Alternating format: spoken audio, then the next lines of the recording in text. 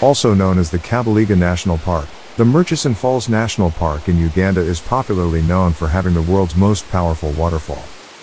The outlet of Lake Victoria sends around 300 cubic meters per second of water over the falls, squeezed into a gorge less than 10 meters or 33 feet wide.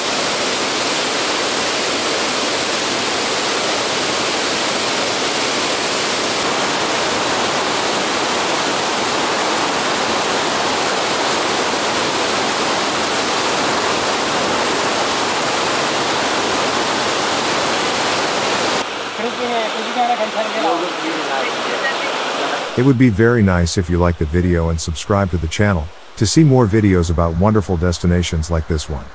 Stay healthy and see you soon.